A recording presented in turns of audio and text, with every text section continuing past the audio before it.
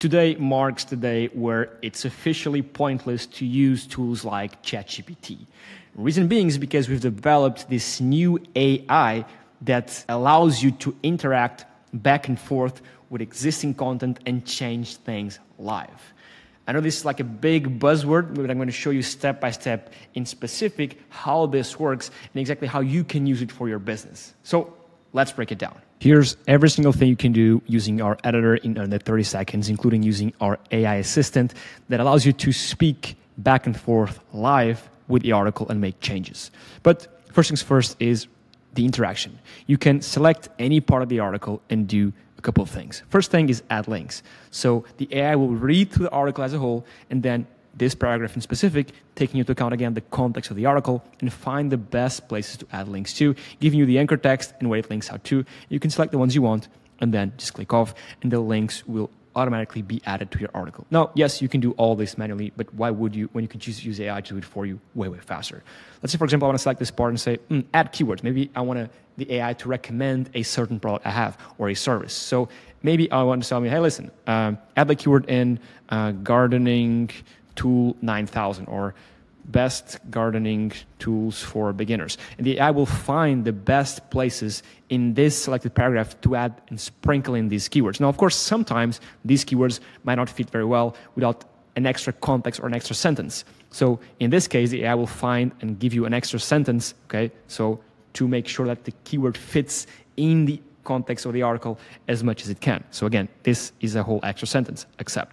Now, for example, let's say you think this is a bit uh, too short. You can make it longer, right? You can make a list out of it, make a table. So in the case that you think maybe the AI didn't express itself as you wanted it to express, you can just use these little tools. You can make this a table, make a list. Maybe you think that your users better read info, or maybe this info is better explained in a table format, a bullet list format, you can do that as well. Now, you can even add custom prompts, right? You can say, hey, listen, write or make sure every word rhymes with orange. I don't know why you want to do this, but you can. Or, for example, write this more tailored towards beginner gardeners and don't use complex terms. So, in essence, you can have and add any custom prompt and not just for a paragraph, you can select multiple parts of the article. Okay. Now, to finish off this part, you can take existing image, for example, this one, and say, hmm, add a dog. And the AI will take into account the context of the existing image you're changing, as well as the context of the article as a whole, and add a dog, in this case, to a, a garden-like scenario. So there you go,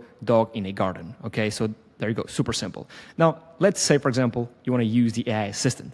Let's say in the case you don't like this, this intro. Say, huh, I don't like the intro.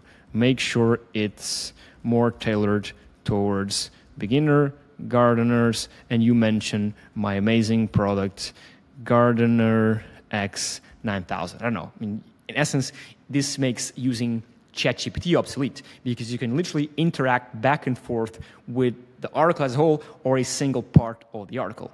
And the AI will change things accordingly to the info you give it. It's as if you had someone working for you, and you can just give it tips and give it instructions, and it will live change things for you. There you go. It removed some parts, it added some parts you can either accept or decline, right?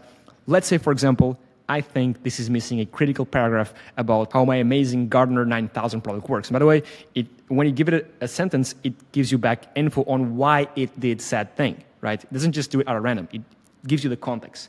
So, okay, now add a paragraph titled "The best beginner gardening tool is the Gardener or 9,000. Again, this product doesn't exist, so it will make things up, but you get the point. And write and write it. I don't know. Write write it. Boom. There you go. So now the AI will add this whole new paragraph I told it to add, titled this exact thing, the best beginner gardening tool is the Gardener 9000, and write the whole paragraph. And it will find the best place in the article to add this new paragraph too. There you go. So we just scroll down and find the paragraph.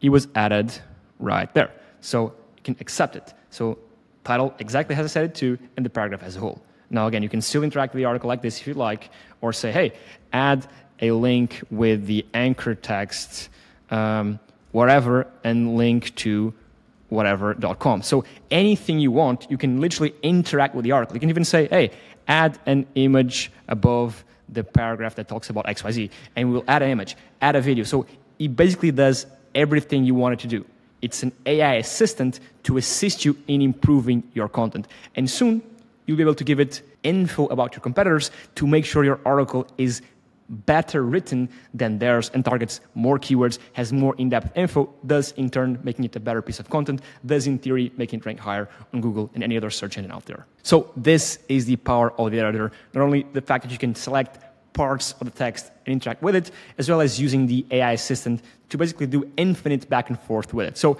give it a go, click the button somewhere on this page, try it out.